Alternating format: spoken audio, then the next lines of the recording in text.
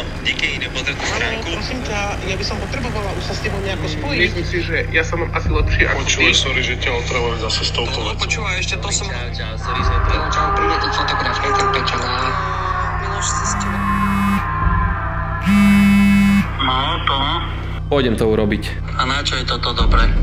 Na čo je to dobré? Ja ti poviem, na čo to je dobré, lebo zajtra tu už nemusím byť. A viem, že nikto nepríde ku mne domov a nesplní mi moje sny. Na to to je dobré.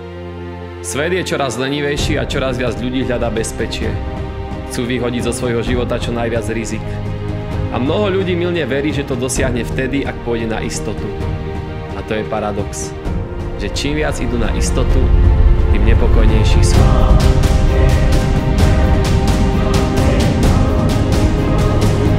Občas je dobré dať si pauzu od sociálnych sietí, aby tie veci, čo si tam ukladáš, si si šiel odžiť. A neostali tam do konca života len uložené.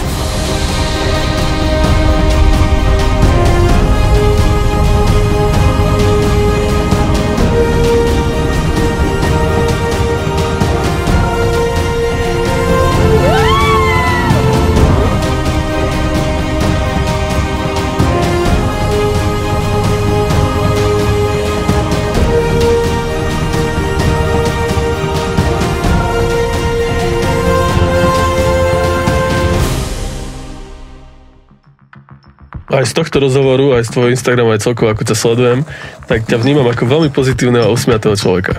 Aký, aký je recept Tona Katrenčíka na šťastný život? Na šťastný život, vieš čo? No, ja som akože celkovo som vďačný za veľa vecí, čo prišlo, možno to ma robí šťastný, ale mám ja nervy, však to není, že by som bol stále vysmiatý. Veľakrát ako človek, vieš, ak to vraví, že je vyrovnaný človek, ti klame. Lebo ten život je sinusoidný. Občas sa dostaneš do bodu svojho života, kedy stratíš iskru. Vieš, za tým zase pôjdeš hore. Len práca, peniaze, práca, peniaze. e, keď mi je najhoršie, tak A žiadny život, ktorý by ti robil radosť. Vieš, že e, Musel som vyhľadať psychologa, adrenalín je aby som pochopil, taký šok pre že- kedy ma znova nakopne.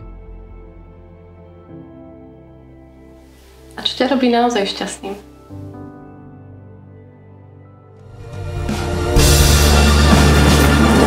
Som si zvykol, že život musí byť dráma, je to film.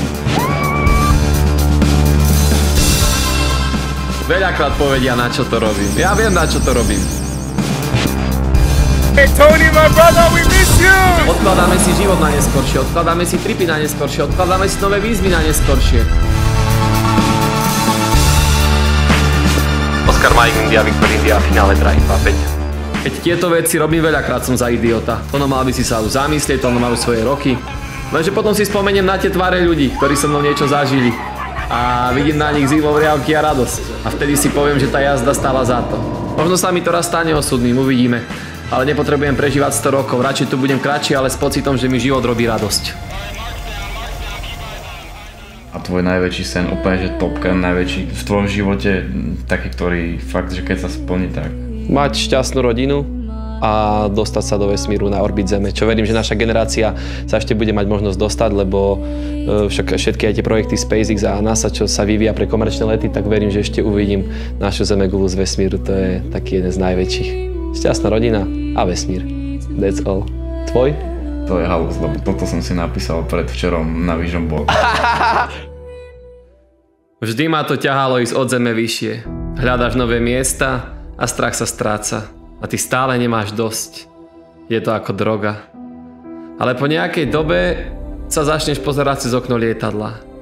A uvedomíš si, že to nebo, o ktorom si sníval, možno ešte nie je strop. Čo bude ďalšia stanica? Uvidíme.